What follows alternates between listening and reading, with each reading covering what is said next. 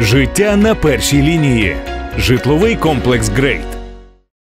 Сенат. Сенат наголошує не весь конгрес, а сенат, не нижня палата американського парламенту, а саме верхня, про яку раніше йшлося, що вона одностайно підтримує допомогу Україні, не зміг проголосувати цієї допомоги. А не зміг стати одностайним. Заблокував висунення- законопроекту про спільний пакет допомоги Україні, Ізраїлю і Тайваню на голосування. Власне, от е, це навіть така процедурна ще була частина, але ця процедурна частина не реалізувалася.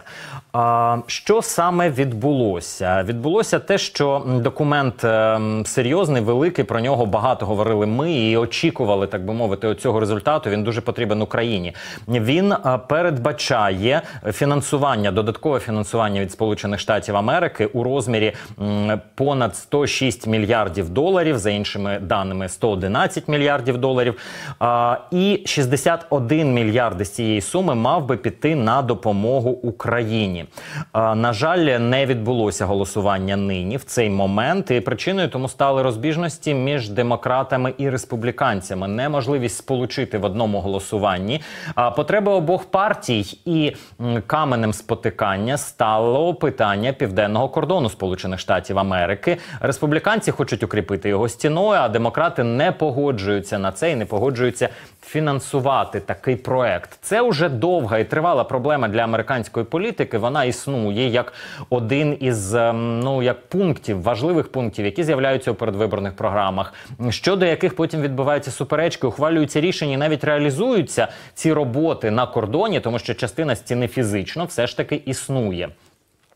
Існує от ця історія уже ну фактично три десятиліття. Як мінімум, три або чотири президентські каденції були пов'язані із цією темою. Вона була важливим аргументом у політичних дискусіях і в реалізації своїх політичних проєктів. Але нині, нині нинішній президент Америки Байден він ішов на вибори якраз із заявою про те, що не буде фінансувати цей проект. Важливо запам'ятати до цього. Ми ще повернемося, але от вона одна із причин, власне, чому нині не можуть досягти згоди.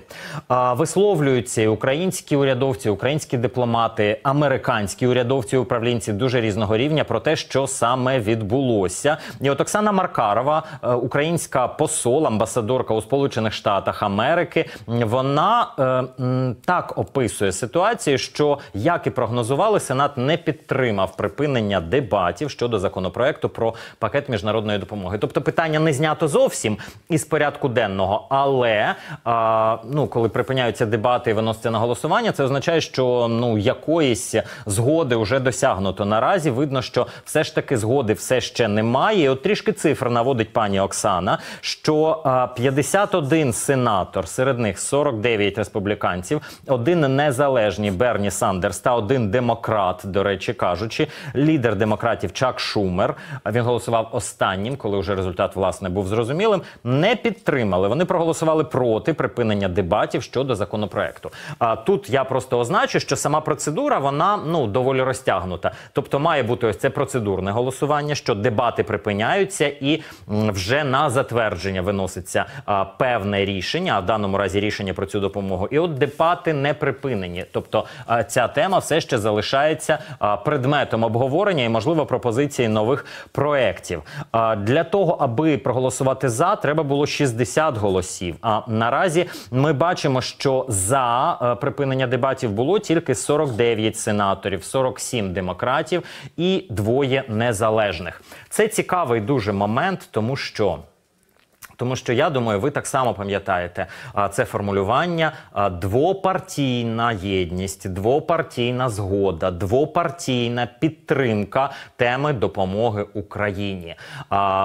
Саме це формулювання постійно було у нас на слуху, і саме ця двопартійна підтримка забезпечувала таку дуже сильну позицію Сполучених Штатів наразі.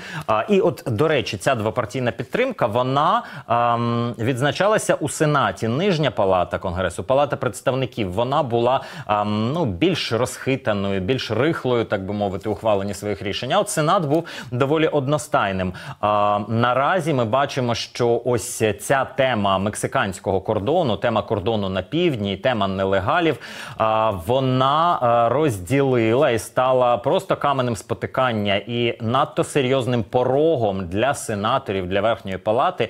І двопартійна єдність не змогла його подолати. От цей поріг розділив зараз партії з обох своїх боків. З одного боку опинилися республіканці, і з іншого демократи.